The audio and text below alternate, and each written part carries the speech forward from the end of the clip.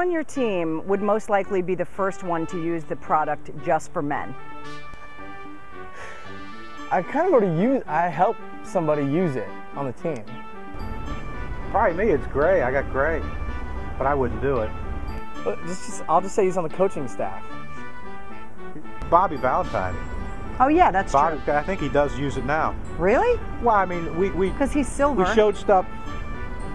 Well, he's rust covered now.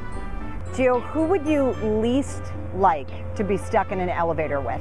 It'd be Chewbacca. Has to be Chewbacca. It, it has to be Chewbacca. well, I, if you say something crappy, I'm not going to use it. So let's try it again. So whatever comes out is just. What is the most annoying question that reporters ask you? Early on, it was about my mustache. Really? It happened literally every single day for about a year. what were you thinking out there? How do you feel? Everybody says that. It's when they don't talk to me. I get upset. Oh, so you're that guy. No, it's Hashtag that guy. okay, Brandon, when is the last time you peed in a pool? I don't remember. It's been a while. It's been a while. The last time I was in a pool. I don't know when it was, but That is the best answer ever. What's the uh, what's the biggest lie you ever told? You could just pick from the bag of lies you told. I don't know. I, I never lie. Okay, now I have a new answer.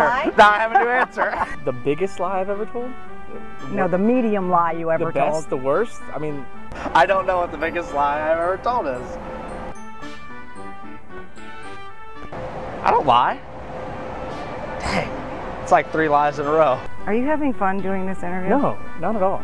Would you rather be connected with, with one set of legs, be connected back to back, or at the torso side to side? Seriously, how's my hair? it's perfect. Okay, good. I think I'd rather be side to side and I'd be facing forwards with the legs.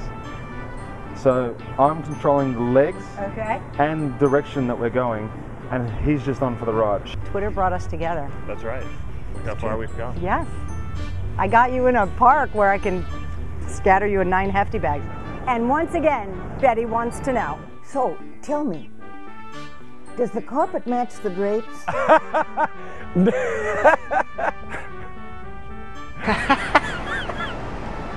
Uh, yes, Betty. Yes, of course it does.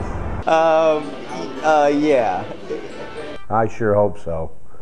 I have no clue. Believe it. Yes, it does. Always, except when I dye my hair.